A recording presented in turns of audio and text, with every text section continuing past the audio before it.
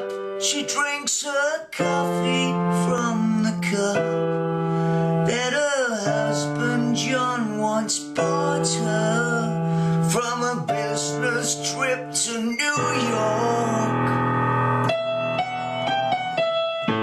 She saw his coat, took his pen, and softly wrote, Well, I know I shouldn't utter.